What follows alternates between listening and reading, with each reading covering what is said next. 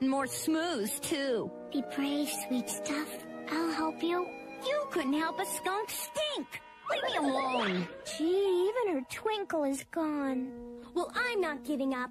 We can go to the Moochick. He helped us before. No way.